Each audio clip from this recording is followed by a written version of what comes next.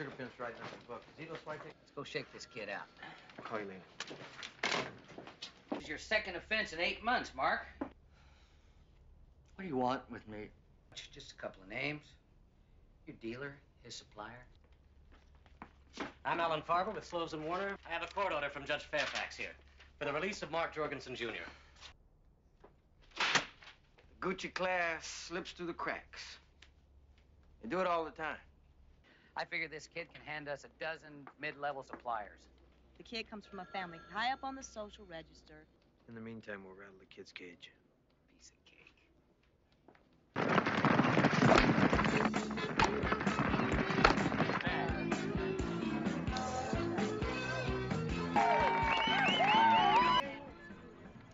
You played wonderfully. Hello, Mark. How are you? Hi there. Oh, hi. Sonny Burnett. Mary McDermott. Pleasure. Wanted you to know that Alan seems to think he can plead no contest and get you a suspended sentence with the proviso that you spend six months away at a drug rehabilitation center. It's like sending me to jail. No. No, I won't do it. What'd you get? Well, it's routine stuff on Junior. And then I spot the package on the old man. Woo! The whole world has had him under glass. I smell a little offshore money laundering here. You know what you guys are going to pick up is a couple hundred million dollars worth of old money. Just because he's money doesn't mean he's not dirty. I still haven't recovered from last Oh, night. give me a break. It's a train. There could be St. Charles.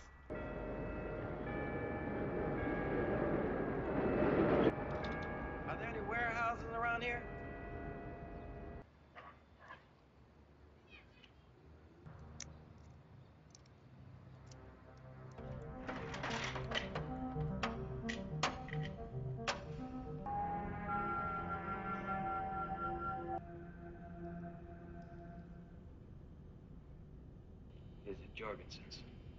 It's somebody's. Let's sit on it.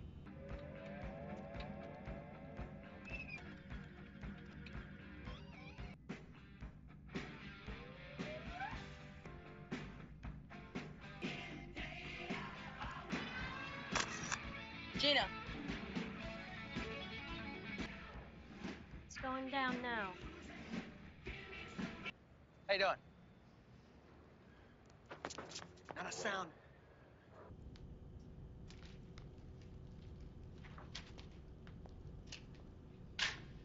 Get the car.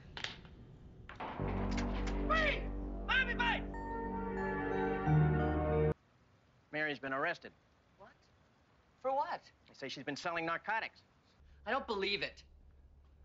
She's been running the game for your father all along. Follow your father's lead, Mark. And keep some space between us.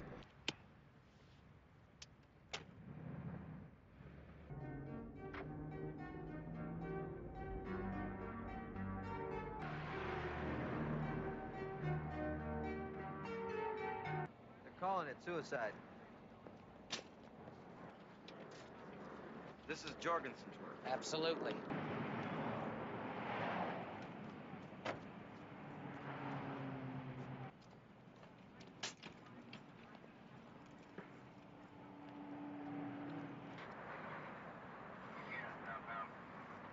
Sorry, Mark. We want you to talk to your father.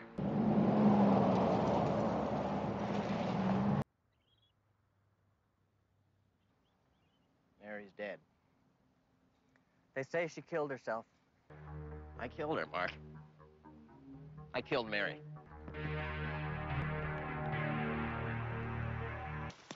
Be advised you're under arrest. Tell me something, man. What we did today. Good routine police work.